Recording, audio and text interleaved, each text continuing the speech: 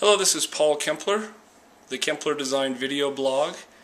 And what I'm going to show now is a very, very common issue with shutters in a kitchen. And that is when you have a spout like this large gooseneck here and the panel doors. So as you can see, if you were to try and open this panel right here, it would hit into this. So here's what we did as a as an option. Instead of opening that standard,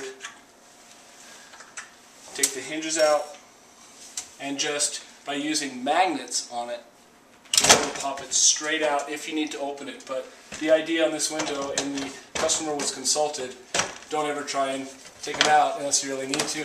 There's no point. So that's how you can handle uh, shutters with a gooseneck.